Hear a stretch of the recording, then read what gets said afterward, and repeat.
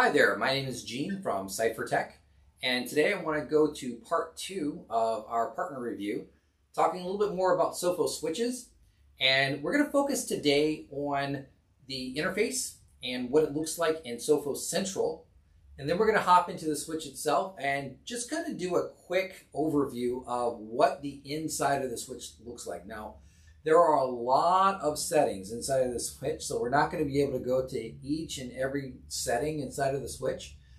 I just wanted to take a few minutes here to kind of go over some of the basics. So let's go ahead and hop right into it. Right off of the bat, if you go into Sophos Central, you'll see in the overview, there's a new section here that says switches. Go ahead and click on switches, and you will see that there's a section here to add a site, and there's a section to add a switch. So I've already added in a site, but to add a site, just click on Add Site, put in your name, put in your location, description, and that adds in the site. And then under there, you go ahead and you add your switch. Now to add a switch, click on Add Switches. Now you need to do this, I just discovered, before you plug in the switch. So you've got a sticker here that has the, uh, the, the serial number on it. Go ahead and type that serial number in and click on register and click on where you want it to go to. That's going to make the switch appear here and it's going to go uh, to a synchronizing state where it's waiting for it to check in. Once it checks in, it's going to see that the version of the firmware is not up to date. So it's going to do a firmware update for you automatically and then it's going to start populating all of this information.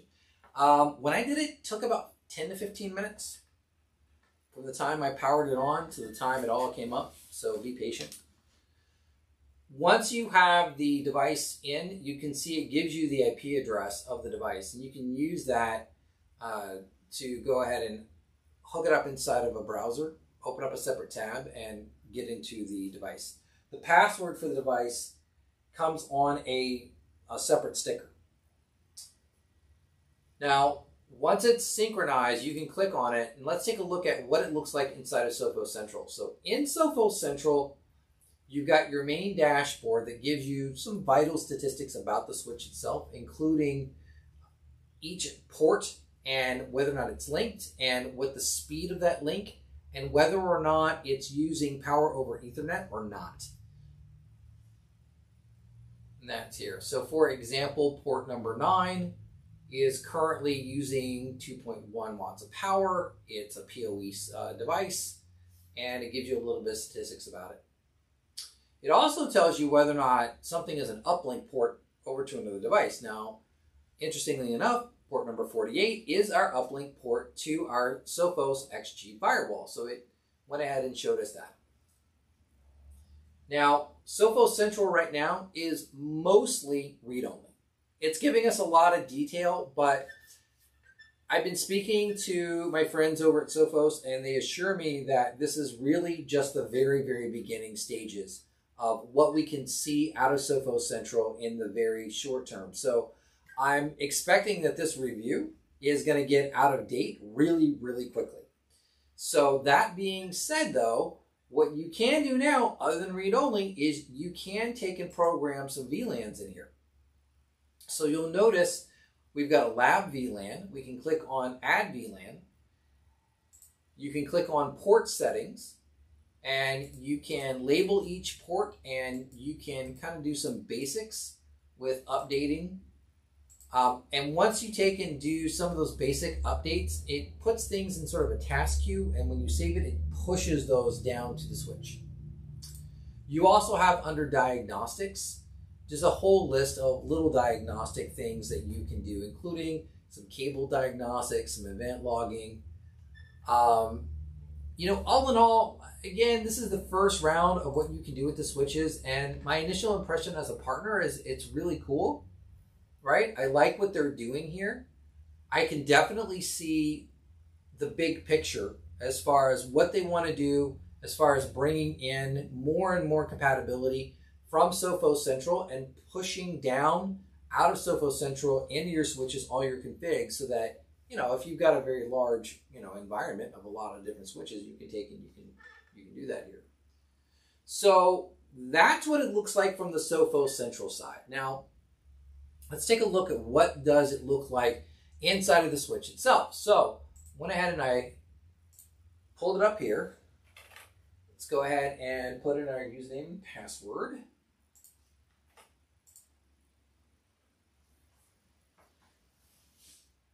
Now, right off of the bat, the switch has, from what I can tell, three main areas. You've got a monitoring area that shows you a dashboard, um, some real-time meters, statistics. Um, then you have a configuration section. I want to show you guys that.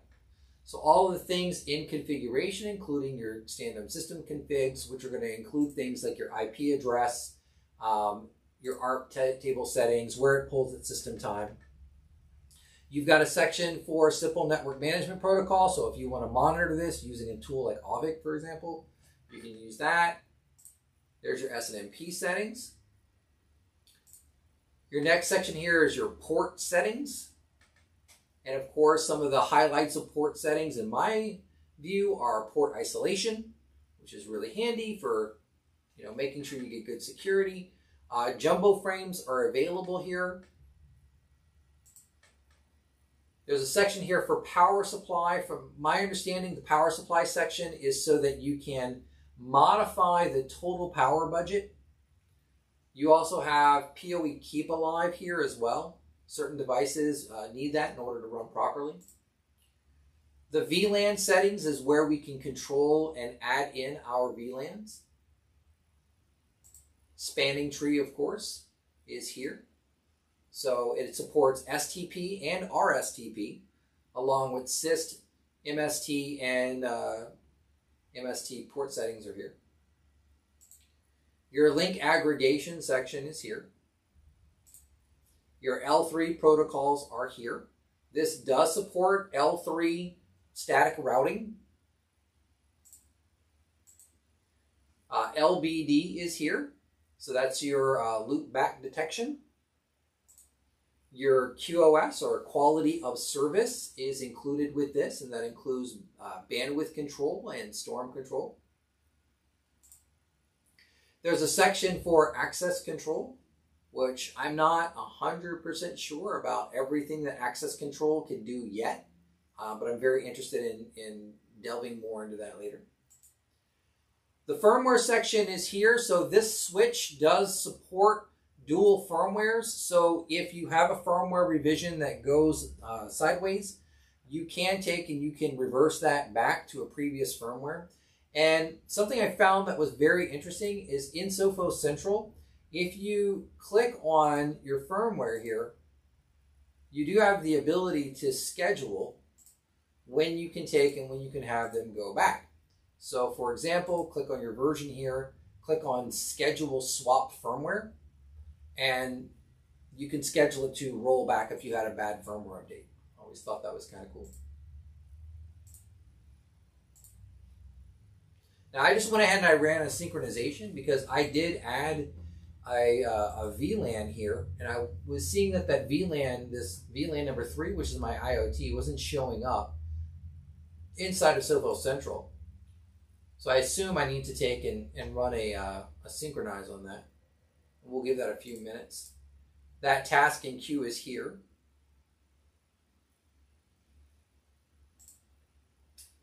Moving down, we also have analyze. So these are your logs, diagnostic tools, uh, including a cable test. So for example, port number 48, click on test, and it gives you some, basically some guesswork.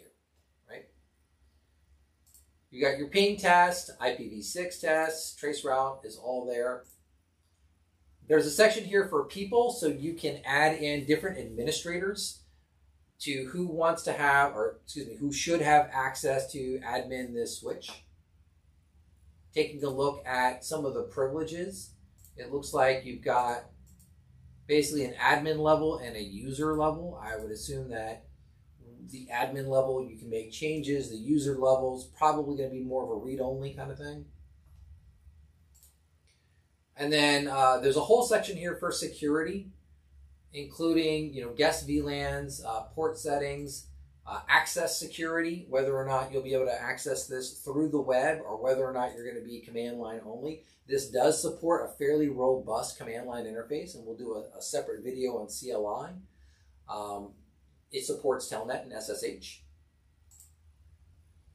Port security is here. I'm not entirely sure what this section uh, really can do, other than it looks like you can modify or edit the number of MAC addresses that you can have per port. So I, I guess that's really important if you don't want to take and have like a switch on top of a switch, right? Not have like a whole bunch of MAC addresses coming in. You want to keep this dedicated to one, you know, one particular port. Uh, radius server uh, compatibility is there, and then of course uh, you have the ability to put on um, denial of service attack prevention. So those are sort of the basics. My impression of it, I, you know, for a first round, first draft, I'm pretty impressed. I think that this really hits on all of the things that I'm looking for as a network administrator for an SMB, uh, maybe even mid-size uh, level access switch. I'm wondering, I, I don't know, um, whether or not this is white labeled from someone else, it kind of feels like I don't really know whether or not this was programmed from the ground up or whether or not they they bought another company. I, I really need to get a lot more information, I think, from Sophos about what the history of this switch is. I'm very uh, interested to know that because I, would like to kind of get an idea. It's, it's very hard right now to know what the reliability of these switches are going to be. Obviously, we want a really good liability, uh, excuse me, a, a, really good reliable switch. And so knowing sort of the background on that, I think is going to help. So I'm going to have some conversations with some of the product developers. They have reached out to me. Sophos has asked me whether or not I want to have some meetings with some of the product dev team. And I've told them I'm more than happy to sit down and talk with them. So knowing that if anyone out there has any questions that you have for the product dev team that you want me to ask on your behalf, by all means, please let me know here and I will make sure that those questions get answered. So, well, that's it, I think, for now, for sort of a general run through of the current version of the interface. Uh, please like and subscribe, and I will make sure to make more videos. And I will make sure to make some videos that are very targeted about maybe some of the things that you saw here that you want to see more in depth of. Uh, let me know, and I'll make sure to make those videos for you guys. Thank you very much. Have a great one.